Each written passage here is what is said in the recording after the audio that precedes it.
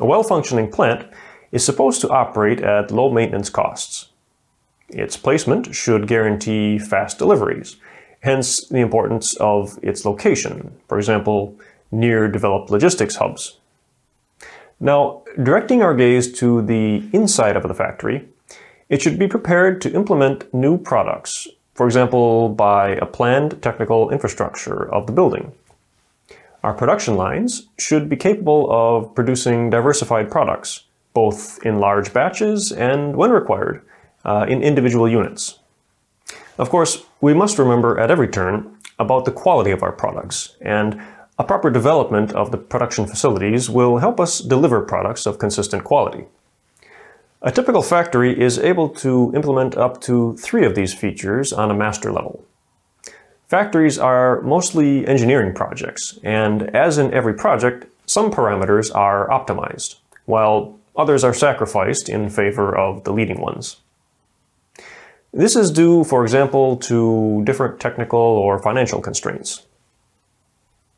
Let's move to the main topic of this episode. There are five levels of factory design. I'm going to discuss now each of them. So let's get started. The first one is the global level.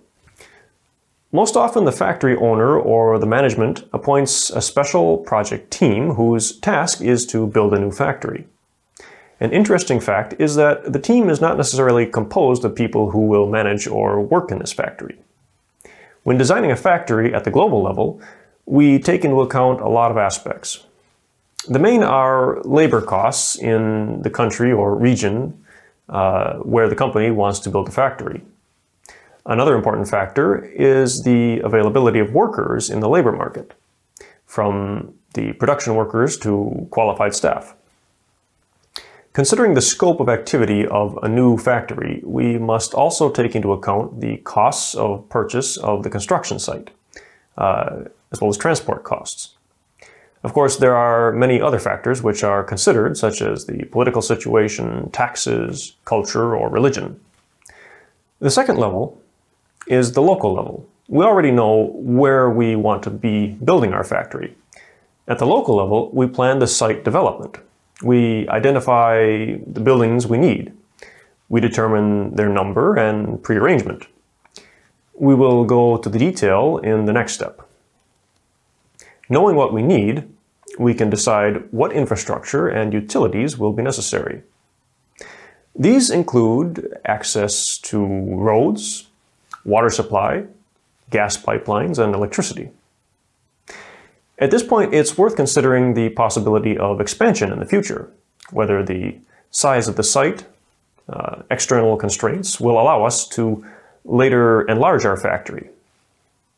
What we are talking about is the site saturation, that is, how many buildings, uh, equipment, or car parks we can accommodate on it. We're now going to get into the details of our investment. At the level 3, or the macro plan, we will deal with the development of each of our facilities. This is the most important point of our work. At this level, our idea, as yet virtual, takes the shape of a real construction made of steel and concrete. Each layout has four basic elements. The first one is all that the layout involves. We call it the Space Planning Units, or SPU in short. Gather all the units, departments, warehouses, offices, supporting units. Describe in detail all the dependencies and connections between the SPUs. This is a very important element. The more accurately you do this, the smaller the amount of losses will be. For instance, you will reduce future transport or unnecessary movements, uh, connections or dependencies. The third element is to place our layout in space. Draw all the facilities and then connect them with dependency arrows, which you have made previously in the second stage. In this way, we get the estimated layout. We're getting closer to the pursuit objective. The final step in creating the macro plan is to impose restrictions. They may be construction restrictions, safety restrictions, uh, those related to the existing buildings or costs. Please bear in mind the dependencies and connections between these units. There are many possibilities of combining these elements, and this also gives you many possible versions of the layout. This is the best time to eliminate losses, the time to design or redesign the existing processes. To incorporate lean at this point is less expensive than to implement it uh, at a later stage when the plant is ready. If you are planning production that will undergo frequent changes due to a short product life cycle, also called product life, you had better plan a multifunctional building uh, in which electrical connections, compressed air installation, ventilation, ducts uh, are readily available and independent from the layout change. This way, we come to the level 4.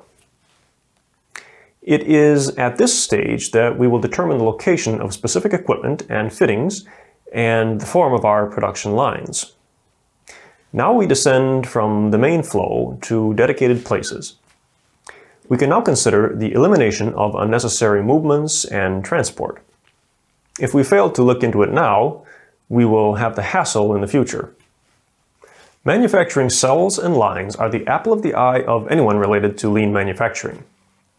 It is their form and functioning that productivity, adequate quality of our product, uh, simple flow, and management support depend on.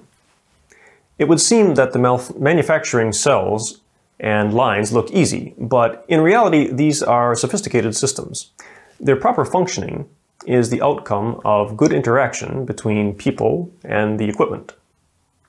A proper design is a real engineering challenge.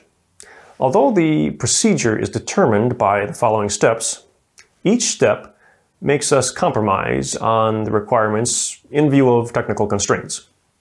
But in order to do it well, you need knowledge and experience. Please remember several important features when designing the cells and lines. Eliminate transport and unnecessary movements. Try to locate the subsequent processes as close as possible. Consider using the Chaku Chaku, which involves the organization of a manufacturing cell in such a way as to ensure a continuous flow of one product unit. Adjust the machine to the process in terms of their performance provide an easy retooling. Have the movable elements of the line designed on wheels. Avoid monuments, for example, uh, the machines, which for some reason cannot be moved. Uh, a number of further suggestions can be found in other training modules. For example, standardized work or the 5S. The last level is the workstation level. Here we deal with the details which directly affect the operators and the equipment. This level is of key importance for our plant operators. We design each workstation taking into account the ergonomics and safety. We remember about the movements to be made on a given workstation, uh, in which places the tools will be used and whether the operator will have an easy and convenient access to them. One of the best lean tools to be applied here is 5S. Notice how many lean tools are complementary. I have presented all levels of the design of the plant layout starting from the global level, that is, where we build the plant, uh, and we finished with designing an individual workstation. Even if you happen to make a mistake, don't worry. Lean means a continuous improvement, and so we draw conclusions from each mistake and seek to put it right.